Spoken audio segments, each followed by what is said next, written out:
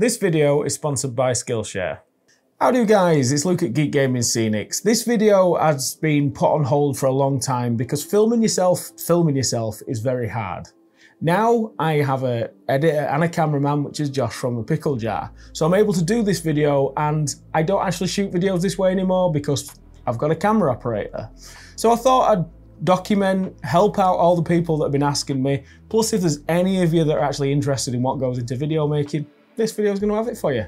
So let's get cracking. 99% of my filming is always on just one camera.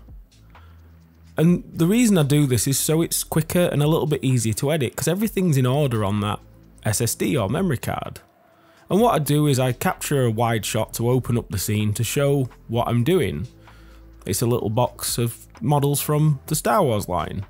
So I show a wide shot to show you where I am and what I'm doing. Then after I've captured that, I then move the camera, I reframe, and then I go over to open the box. then as soon as I've sat down and opened the box, I then move the camera again, reframe, refocus, pull out the contents, and then stop, move the camera, and carry on doing this till I've created a load of little 3 second, 5 second, 10 second clips of me getting the models out the box. The reason I do this is for engagement. It looks a lot more interesting than just one fixed off lock shot of what you're doing. And I build that up with wide, medium, and tight shots to sort of show what I'm doing in the environment that I'm doing to medium when it's important, and then super tight when I'm trying to show you what I'm actually doing. So this means changing lenses. This means getting in there close and showing an, an in-depth look at what I'm doing. And once you get them shots, what I also like to try and do is a little bit of movement in them shots. Now, when you're filming by yourself, this is quite complicated. How I do it is I get a little bit of string, I fasten it to the handle of the tripod, and while I'm clipping the models off the sprue or painting a model or I'm building a model kit, what I do then is I pull my leg tight on the string and then that turns the fluid head of the tripod to give you a proper motion. I'm not a fan of cropping in in post and putting a, a digital motion in because you lose that parallax effect. And I just like to have proper motion on the camera. And this is how I do it without any expensive equipment. But it works, so why not use it? And then to finish off, I just get some handheld footage of what I've created at that point to then move on to the next step. So then all I'm doing now is literally just clipping out all the sections of me walking to and from the camera over and over and over again and only showing you the bits that I want to show you so it looks like I've been sat there doing it all in one process. This does seem a lot long-winded but it's how you do it. And then I colour correct and colour grade it to put all the colour and everything back in to make it look nice and pleasing. This is what that pan looks like with a bit of string around the tripod. I think it looks quite nice. And I just applied this process to an entire video. So all my videos are built up with three, four, five, ten second clips to tell take you on a story of me enjoying the hobby and what I'm doing, or teaching you even. Now for rigging cameras for miniature painting, which is a little bit more complicated. So my painting setup is very, very simple. And the reason I keep it simple is painting on camera is horrendously difficult. And that's why I, I have a camera that shoots 4K. However, you don't need a camera that shoots 4K. I managed for a very long time with the C100 on the same arm. Um, you just have to use tighter lenses, that's all. So there's a little less in focus. But other than that, it's fine. But you keep it simple, get that camera to your eye level so the people who are watching your videos can see exactly how you're painting and I keep it like that. So I literally get the shots that I want. And as soon as I've finished getting the shots that I want, I take the camera down and then I carry on with something else. And I get wides to break up the painting shots. That's it. Um, I'm not the flashiest miniature painter, so I don't have to capture that much footage. So if you are enjoying this video, this is more of an overview of how I shoot and film things. If you really want to get into the nitty gritty, a perfect platform for you will be Skillshare. I've used Skillshare because I, I actually get to look at my favorite YouTubers and they tutor you how to make better videos. So my favorite is YouTube Success by Marques Brownlee, teaching how to shoot, script, and edit all in one platform. Now, if you're not just into video making and you, you are watching this just out of sheer interest, there's absolutely tons of different artists on there. One of my favorite creators on Skillshare is Jennifer Kelly's Color Quest, teaching you how to mix any color you want with acrylics. It's great for learning color theories and everything else. But it's a plethora of people to learn off that you look up to on YouTube, but it's just going down to that nitty gritty and teaching you how to do it in far more depth, far better than any YouTube video would. So if this sounds interesting to you, don't forget to check out the links below and the first thousand people to use that link get one month free, which is absolutely amazing. So I'd like to thank Skillshare for sponsoring this video and helping content creators like us and maybe even help you out a lot as well. So back to the video.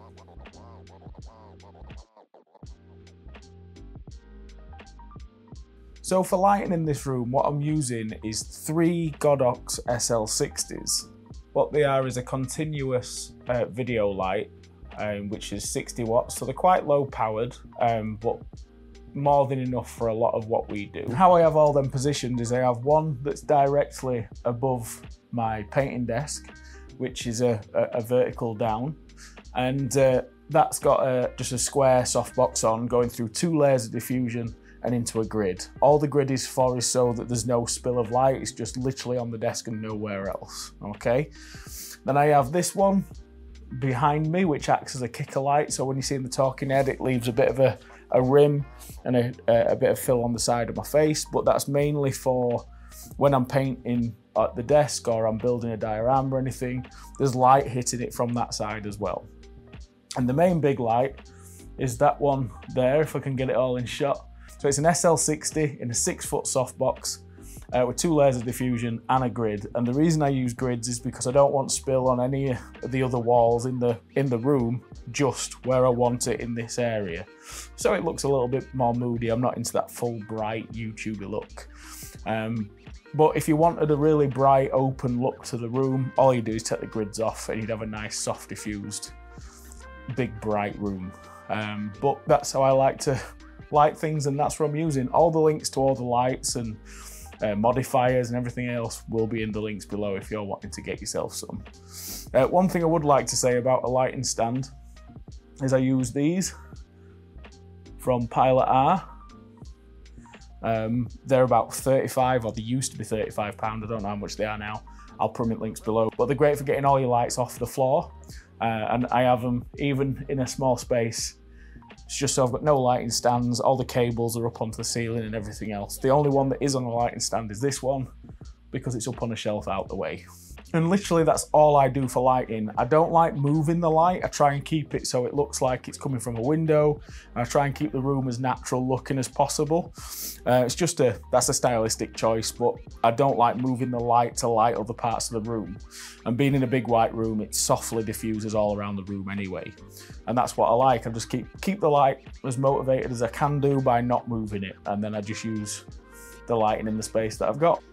So before Godox actually sent me this SL300 uh, 2, getting shots of miniatures and getting all the miniature in focus was near on impossible. What I was having to do is film, say, the hand of the model and sort of like do a focus pull to sort of show you the model coming in and out of focus. Or I'd have to take a picture and focus stack and then it's not actually a video, it's just a panning picture and it doesn't look as nice. But now I've got the SL300, I can actually film a miniature up very close, get it to fill the frame and get all the model in focus. And the amount of light you need to do that is an awful lot. I've not used this above 60% yet, so a Godox 200 might be enough, but this Godox 300 means that when I'm doing gaming tables or anything like that, it's more than enough for me. And if you are thinking about doing YouTube and doing minutes thing, so make sure you get a light with a decent amount of wallop. So like 200, 300 watts They are about four to 500 pounds these, but seriously guys, if you invest in a good light, it just helps so much when you're making miniature videos. So thanks Godox for sending this out, it's appreciated.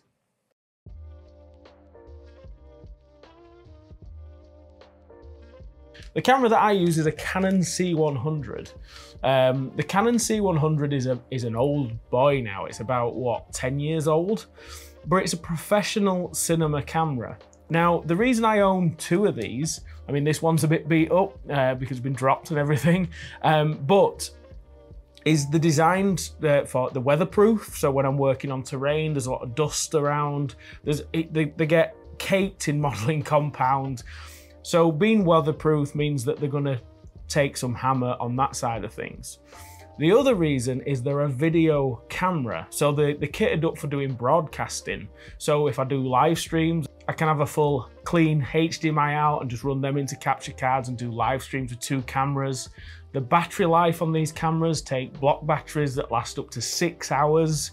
Um, if I have two 64 gigabyte cards in the camera, that gives me about, what, 10 hours of record time. But the main reason that I bought this camera is at the time I had to make a choice. Do I buy a camera or do I buy a computer? This camera records to 4K sensor, but it downsamples it in camera to 1080p, meaning it gives you the most beautiful 1080p image that you can see but it's not hard on your computer to edit. So I didn't have to upgrade my computer, which when people are talking about cameras and a lot of entry level cameras, the codec that them cameras recording, a lot of laptops and a lot of computers do struggle recording these low bitrate 4K 1080p files. Whereas this camera, you can edit it on a seriously old computer and it's just buttery smooth. So that's the main reason I use this camera. And one last thing is the fact you've got two screw mounting points. And I know that seems quite like a little thing, but if you've got a camera on a tripod and you've only got one screw under there, when you're moving it around a lot, it always comes loose. If you've got two pins in the bottom, it can't come loose. And that is another good reason why I chose this camera. And the other good reason about this camera is it's as affordable as an entry-level modern camera. You can pick these up from about 500 pounds to 750 pounds now. Absolute bargain. So when it comes to lenses, guys, you don't have to spend an absolute fortune. When I started, I bought a good all-round zoom, which is a 17 to 55 f2.8. It's a constant aperture, meaning the light doesn't change when you zoom it in, okay? I used that for a very long time. And then after that, I wanted to use primes. The reason I want to use prime lenses is usually they're a lot faster, meaning they let a lot more light in, so you don't need as much light. And also they give you a, a lot better, blurrier background and they're a lot more arty. How I found out what lens focal length I wanted, I bought cheap prime lenses, like a Helios, an M42 mount Helios, and then I bought a very cheap two, three pound adapter to screw on the back of that to the camera. And that's like a 50 mil, and they cost about 20 pounds, uh, up to about 50 depending on condition. And I learned to use vintage primes, which help you with focusing and everything else.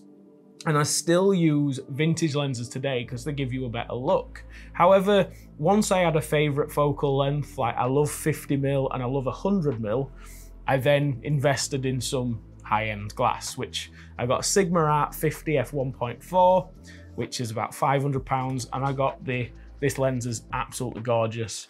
This is the Canon uh, L Macro f2.8 and we use this an awful lot um, just because it's just razor sharp. You can get so close to models. It's, it's the perfect macro lens for doing quite a lot of stuff that we do.